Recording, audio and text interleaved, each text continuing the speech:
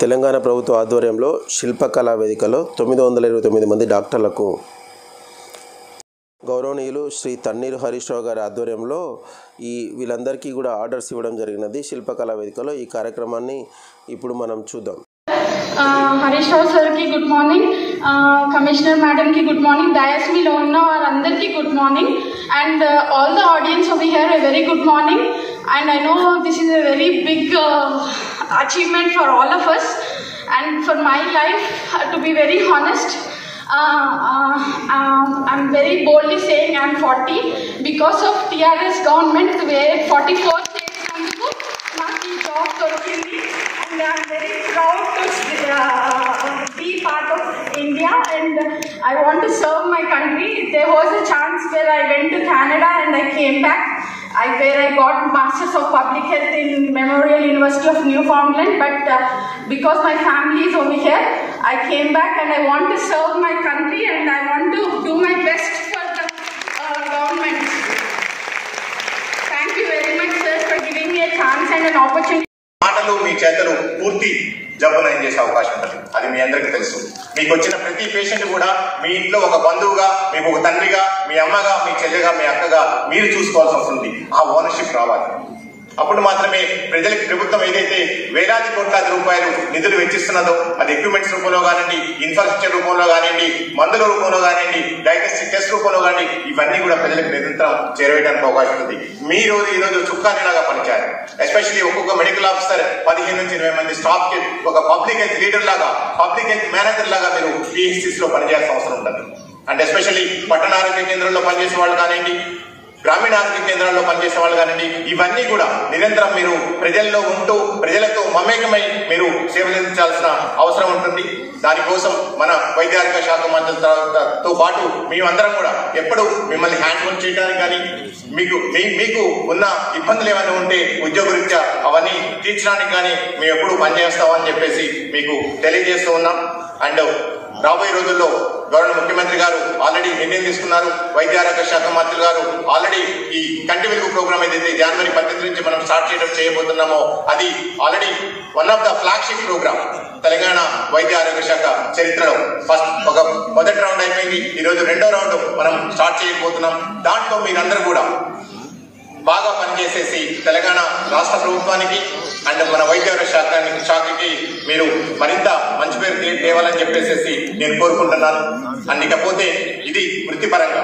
ఎందుకంటే ముప్పై సంవత్సరాలు ఒక వృత్తిలో నిమగ్నం అంటే మామూలు విషయం కాదు. అండ్ మీరు మీ ప్రవృత్తి పరంగా కూడా ఒక మోడల్గా ఉండాలి. ఎందుకంటే సమాజంలో మిమ్మల్ని ఒక డాక్టర్గా చూస్తుంది. ఒక డాక్టర్ ఎలా ఉండాలో అలాగే ఉండాలి. ఇప్పుడు చూసాం ఈ రోజు మేము రిక్వెస్ట్ చేస్తే అందరూ కూడా యాప్రాన్ వేసుకొని వచ్చారు.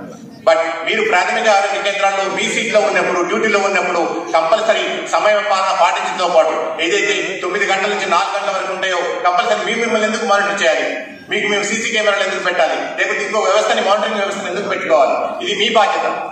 తొమ్మిది గంటల నుంచి నాలుగు గంటలకు ఉండాలంటే ఆ PHC లో డాక్టర్ అంటే ప్రజలు ఆటోమేటిక్గా వస్తారు.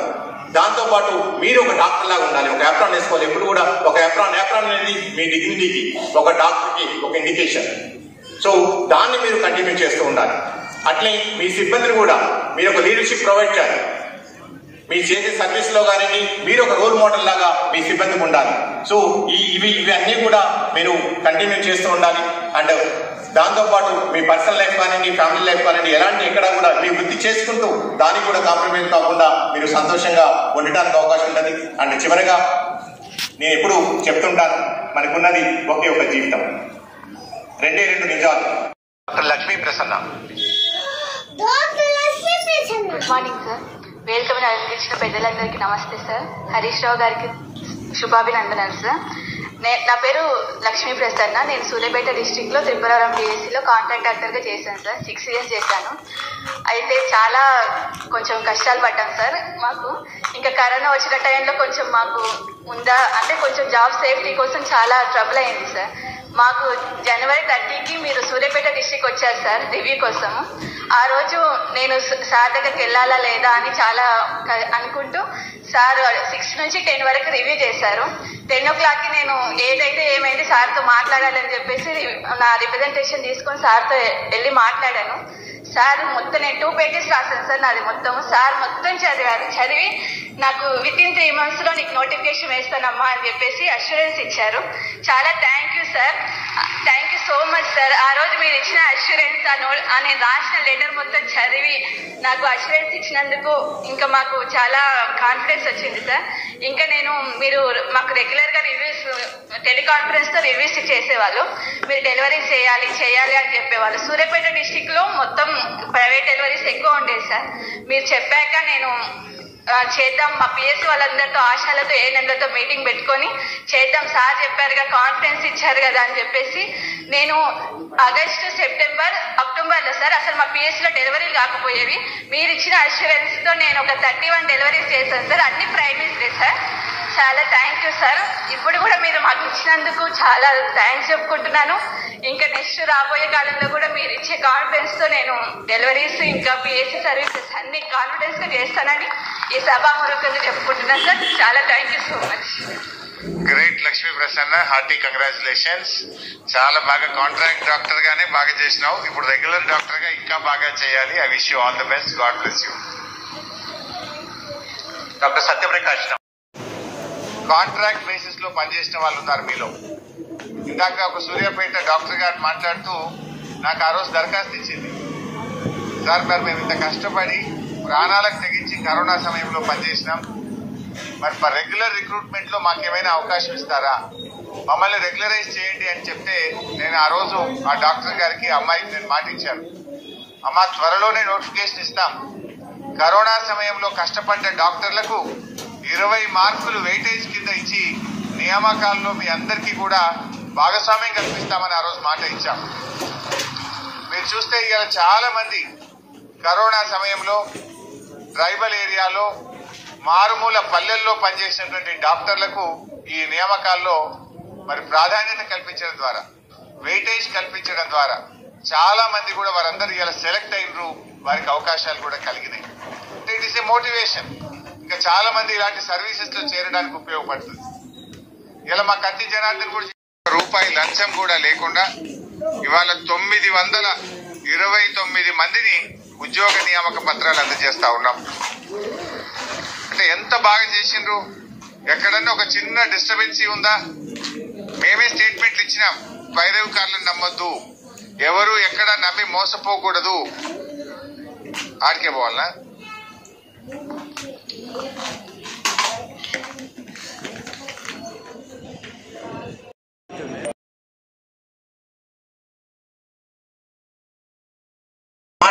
చేతలు పూర్తి జబ్బు నయం చేసే అవకాశం ఉంటుంది. అది మీ అందరికీ తెలుసు.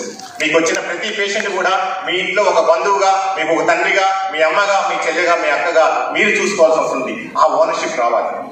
అప్పుడు మాత్రమే ప్రజలకు ప్రభుత్వం ఏదైతే వేలాది కోట్లాది రూపాయలు నిధులు వెచ్చిస్తున్నదో అది ఎక్విప్మెంట్స్ రూపంలో కానివ్వండి ఇన్ఫ్రాస్ట్రక్చర్ రూపంలో కానివ్వండి మందుల రూపంలో కానివ్వండి డయాగ్నోస్టిక్ టెస్ట్ రూపంలో కానీ ఇవన్నీ కూడా ప్రజలకు నిరంతరం చేరవేయడానికి అవకాశం ఉంది. మీ రోజు ఈ రోజు చుక్కానిలాగా పనిచారు ఎస్పెషల్లీ ఒక్కొక్క మెడికల్ ఆఫీసర్ పదిహేను నుంచి ఇరవై మంది స్టాఫ్కి ఒక పబ్లిక్ హెల్త్ లీడర్ లాగా పబ్లిక్ హెల్త్ మేనేజర్ లాగా మీరు పిహెచ్సిస్లో పనిచేయాల్సిన అవసరం ఉంటుంది.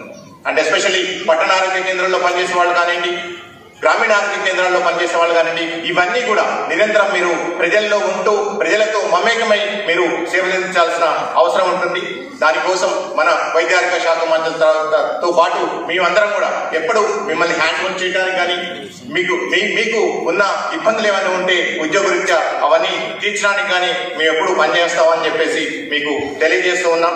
అండ్ రాబోయే రోజుల్లో గవర్నర్ ముఖ్యమంత్రి గారు ఆల్రెడీ నిర్ణయం తీసుకున్నారు. వైద్య ఆరోగ్య శాఖ మంత్రి గారు ఆల్రెడీ ఈ కంటి వెలుగు ప్రోగ్రామ్ ఏదైతే జనవరి పద్దెనిమిది నుంచి మనం స్టార్ట్ చేయడం చేయబోతున్నామో అది already one of the flagship program Telangana వైద్య ఆరోగ్య శాఖ చరిత్రలో. ఫస్ట్ ఒక మొదటి రౌండ్ అయిపోయింది. ఈరోజు రెండో రౌండ్ మనం స్టార్ట్ చేయబోతున్నాం. దాంట్లో మీరందరూ కూడా బాగా పనిచేసేసి తెలంగాణ రాష్ట్ర ప్రభుత్వానికి అండ్ మన వైద్య శాఖానికి శాఖకి మీరు మరింత మంచి పేరు తేవాలని చెప్పేసి నేను కోరుకుంటున్నాను. అండ్ ఇకపోతే ఇది వృత్తిపరంగా. ఎందుకంటే ముప్పై సంవత్సరాలు ఒక వృత్తిలో నిమగ్నం అంటే మామూలు విషయం కాదు. అండ్ మీరు మీ ప్రవృత్తి పరంగా కూడా ఒక మోడల్గా ఉండాలి. ఎందుకంటే సమాజంలో మిమ్మల్ని ఒక డాక్టర్గా చూస్తుంది. ఒక డాక్టర్ ఎలా ఉండాలో అలాగే ఉండాలి. ఇప్పుడు చూసాం ఈ రోజు మేము రిక్వెస్ట్ చేస్తే అందరూ కూడా యాప్రాన్లు వేసుకొని వచ్చారు. బట్ మీరు ప్రాథమిక ఆరోగ్య కేంద్రాల్లో మీ సీట్లో ఉన్నప్పుడు డ్యూటీలో ఉన్నప్పుడు కంపల్సరీ సమయ పాలన పాటించడంతో పాటు ఏదైతే తొమ్మిది గంటల నుంచి నాలుగు గంటల వరకు ఉంటాయో కంపల్సరీ మీ మిమ్మల్ని ఎందుకు మానిటర్ చేయాలి? మీకు మేము సీసీ కెమెరాలు ఎందుకు పెట్టాలి? లేకపోతే ఇంకో వ్యవస్థని మానిటరింగ్ వ్యవస్థను ఎందుకు పెట్టుకోవాలి? ఇది మీ బాధ్యత. తొమ్మిది గంటల నుంచి నాలుగు గంటలకు ఉండాలంటే ఆ పీహెచ్సిలో డాక్టర్ అంటే ప్రజలు ఆటోమేటిక్గా వస్తారు. దాంతో పాటు మీరు ఒక డాక్టర్ లాగా ఉండాలి. ఒక ఎప్రాన్ వేసుకోవాలి. ఎప్పుడు కూడా ఒక ఎప్రాన్ ఎప్రాన్ అనేది మీ డిగ్నిటీకి ఒక డాక్టర్కి ఒక ఇండికేషన్ సో దాన్ని మీరు కంటిన్యూ చేస్తూ ఉండాలి. అట్లే మీ సిబ్బందిని కూడా మీరు ఒక లీడర్షిప్ ప్రొవైడ్ చేయాలి. మీరు చేసే సర్వీస్లో కానీ మీరు ఒక రోల్ మోడల్ లాగా మీ సిబ్బందికి ఉండాలి. సో ఈ ఇవి ఇవి అన్నీ కూడా మీరు కంటిన్యూ చేస్తూ ఉండాలి. అండ్ దాంతో పాటు మీ పర్సనల్ లైఫ్ కానివ్వండి ఫ్యామిలీ లైఫ్ కానివ్వండి ఎలాంటి ఎక్కడ కూడా మీ వృత్తి చేసుకుంటూ దానికి కూడా కాంప్రమైజ్ కాకుండా మీరు సంతోషంగా ఉండటానికి అవకాశం ఉంటుంది. అండ్ చివరగా నేను ఎప్పుడు చెప్తుంటాను మనకున్నది ఒకే ఒక జీవితం. రెండే రెండు నిజాలు. ఈ రెండింటి మధ్యలో చాలా చిన్న ప్రయాణం అతి చిన్న ప్రయాణం. ఈ చిన్న ప్రయాణాన్ని మన చేతుల ద్వారా మన ఆలోచనల ద్వారా దాన్ని ఎంత అందంగా ఎంత ఆనందంగా ఎంత ఆహ్లాదంగా మనం మలుచుకుంటాం అన్నది మన చేతుల్లో ఉన్నది. ఈ విషయాన్ని మనం గుర్తుపెట్టుకోవాలి. ఈ ప్రయాణాన్ని మరి జీవితంలో ఉన్న ఒకే ఒక ప్రయాణాన్ని మరింత మాధుర్యంగా మనం మలుచుకోవాల్సిన అవసరం ఉంది. కానీ మనం మెజారిటీ పీపుల్ మనం చేసేది మనం వర్తమానంలో ఉన్న బతుకుతాం లేదా భవిష్యత్తులో ఉన్న బతుకుతాం సారీ పాస్ట్లో ఉన్న బతుకుతాం ఫ్యూచర్లో ఉన్న బతుకుతాం బట్ ప్రెజెంట్లో అంటే వర్తమానంలో ఎప్పుడు మనం బతకాలని ప్రయత్నం చేయం. జరిగిపోయిన దాన్ని మనం తీసుకురాలేదు దాన్ని మర్చిపోండి. జరగబోయేది మన చేతులు లేదు. దాని గురించి కూడా మర్చిపో మర్చిపోండి. బట్ ఈ రోజు ఏదైతే ఉందో అది మీ కుటుంబ పరంగా కానీ వ్యక్తిగతంగా కానీ లేకపోతే మీ ఉద్యోగ పరంగా కానీ ఏదైతే బాధ్యతలు ఉన్నాయో ఈ బాధ్యతల్ని మీరు తీర్చిదిద్దుకోవడం ద్వారా మీరన్నిటికి కూడా మీ జీవితానికి కూడా మీరు న్యాయం చేయడానికి అవకాశం ఉంటుంది. దానికి పరిపూర్ణత చేకూర్చడానికి అవకాశం ఉంటుంది. And as a director of public health మీ హెచ్ఓడిగా మీకు ఎలాంటి సమస్యలున్నా ఎస్పెషల్లీ ఎస్పెషల్లీ మీ సర్వీస్ మ్యాటర్స్ కానివ్వండి ఇతర ఇష్యూస్ కానివ్వండి ఏమైనా ఎప్పటికప్పుడు మా దృష్టికి తీసుకొస్తే తప్పకుండా వాటిని మేము పరిష్కరించడానికి ప్రయత్నం చేస్తాం. మా ద్వారా కానీ వెంటనే గౌరవ మంత్రి గారి దృష్టి పట్టుకు వెళ్ళేసేసి ఎప్పటికప్పుడు కూడా సమయ సమయానుకూలంగా వాటిని మేము పరిష్కరిస్తూ ఉంటాం. అండ్ మీరందరూ కూడా ఈ రోజు నుంచి తెలంగాణ రాష్ట్రాన్ని ఆరోగ్య తెలంగాణలో భాగంగా ఆరోగ్య తెలంగాణగా మార్చడం కోసం తెలంగాణ ముఖ చిత్రాన్ని పూర్తిగా బంగారు తెలంగాణగా మార్చడం కోసం మీరందరూ కూడా మాతో ఈ రోజు చేతులు కలిపినందుకు ఇక్కడికి వచ్చినందుకు నిజంగా మరొకసారికి కృతజ్ఞతలు తెలియజేస్తూ అండ్ ఈరోజు ముప్పై ఒకటి రెండు వేల ఇరవై రెండు ఈ రెండు వేల ఇరవై రెండు సంవత్సరానికి చివరి రోజు. మన గవర్నర్ ముఖ్యమంత్రి గారు మనందరికీ కూడా ఇంత ఆనందంగా సెలబ్రేట్ చేసుకోవడానికి అండ్ మీ జీవితాన్ని మరుగు తిప్పే ఈరోజు మీకు వచ్చే నూతన సంవత్సరం. మరింత ఆనందంగా మీకు మీ కుటుంబ సభ్యులకి మరొకసారి నూతన సంవత్సర శుభాకాంక్షలు తెలియజేస్తూ ఈ అవకాశం ఇచ్చిన మా వైద్యారోగ్య శాఖ మంత్రులు హరీష్ రావు గారికి అలాగనే మా సెక్రటరీ రిజ్వి గారికి మా హెచ్ఓడీస్ అందరికి కూడా కృతజ్ఞతలు తెలియజేస్తూ సెలవు తీసుకున్నాం thank you thank you so much freshly recruited doctors, their family members, very good morning to all of you. It is a matter of immense satisfaction for me to participate in this event today. We have been able to complete this recruitment of almost 969 uh, doctors for public health, for Vaidya Parishad, for IBM in a very short time, time frame and it has been possible because of the constant support and encouragement of our Honorable Minister. The department under his leadership has achieved many milestones. No area of healthcare has been left untouched. We request ఇలా తొమ్మిది వందల ఇరవై తొమ్మిది మంది డాక్టర్లు ఇది మంచి programme ద్వారా ఇన్ని రోజులు కష్టపడి కాంట్రాక్ట్ డాక్టర్గా పనిచేసినందుకు మరియు ఇంకా కొందరు ఎంబీబీఎస్ అయిన తర్వాత గవర్నమెంట్ జాబ్లో డైరెక్ట్గా జాయిన్ అవుతున్నందుకు అందరూ సంబరపడడం జరిగింది. ఇది శిల్పకళా వేదికగా ఈ కార్యక్రమం పూర్తి స్థాయిలో అందరు మాట్లాడటం అయిపోయిన తర్వాత ఆర్డర్ కాపీలు తీ- ఇస్తున్న సందర్భంలో ప్రతి ఒక్కరికి కూడా ఈ ఆనంద క్షణాలు ఆస్వాదించడం కోసం మరి ఒకసారి గ్రూప్ ఫోటో దిగాలని చెప్పి అందరూ కలిసి అక్కడ ఒకేసారి తొమ్మిది వందల ఇరవై తొమ్మిది మంది కూర్చొని వాళ్ళతో పాటు రాష్ట్ర అధికారులు మరియు గౌరవ మంత్రివర్యులు తన్నీరు హరీష్ రావు గారు ఒక గ్రూప్ ఫోటో దిగడం జరిగినది. ఆ తర్వాత మంత్రి గారు మళ్ళీ సెల్ఫీలు కూడా తీసుకోవడం జరిగింది. అందరూ కలిసి సెల్ఫీలు తీసుకోవడం ఆ సెల్ఫీలను పదిలపరుచుకోవడం జరిగింది. ఫైనల్గా అపాయింట్మెంట్ ఆర్డర్ ఇవ్వడం జరిగింది. న్యూ ఇయర్ కానుకగా.